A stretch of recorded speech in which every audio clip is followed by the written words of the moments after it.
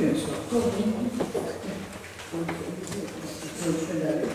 Szanowni Państwo, druk nr 983 wyrażenie zgody na udzielenie na udzielenie w 2012 roku bonifikaty w wysokości 90% dla Domu Pomocy Społecznej z siedzibą w Krakowie Rozrywki 1. E, Druk 983 Państwo sobie doczytacie całokształt. Dziękuję.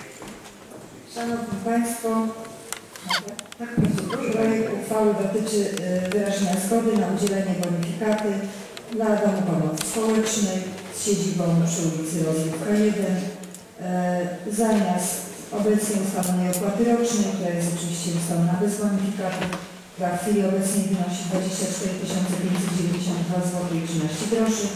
Po udzieleniu bonifikaty y, Dom Pomocy Społecznej będzie płacił opłatę w wysokości 2459 zł i 21 groszy.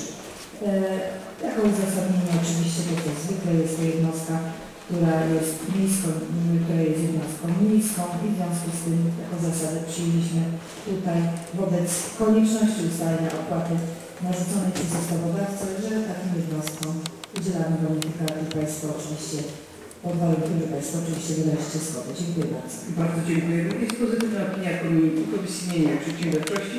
Czy są prezentacje innych komisji?